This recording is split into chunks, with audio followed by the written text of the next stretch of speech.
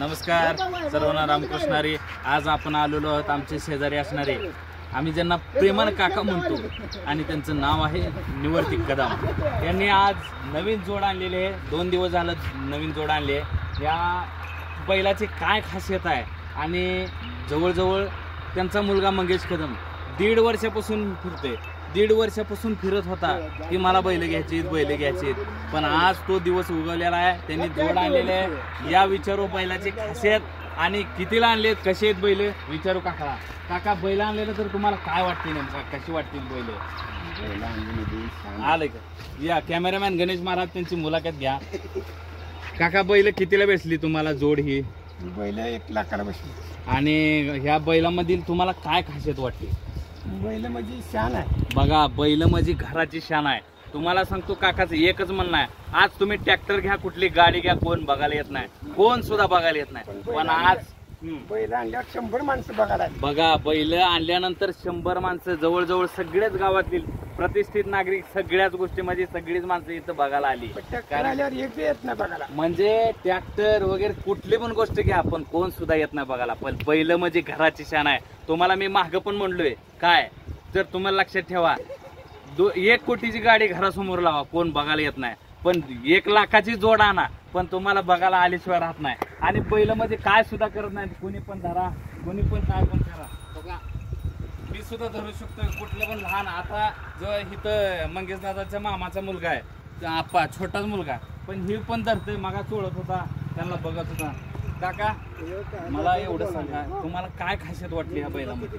आणि आता ही जोड आहे किती वर्षाची आहे जवळ?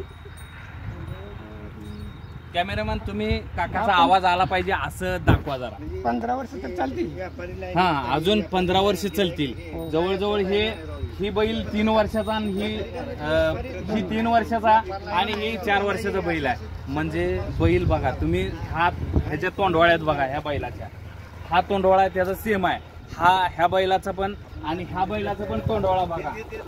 सेमच आहे. जवळजवळ ही जोड लावलेली आहे. म्हणजे हा थोरला भाऊ आणि ही दाखला भाऊ असंच वाटते ही अशी पद्धत आहे तरी हां सेम भाऊ भाऊच आहेत.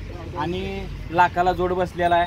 म्हणजे काकाचं एकच म्हणणं आहे. घराची शान फक्त एकाच गोष्टीनं वाटते फक्त बैल असल्यावर. आणि आता सध्या नवीन युवा जी युवा म्हणजे मुलं जी आहेत ती सध्या शेतीकडे वळालेत.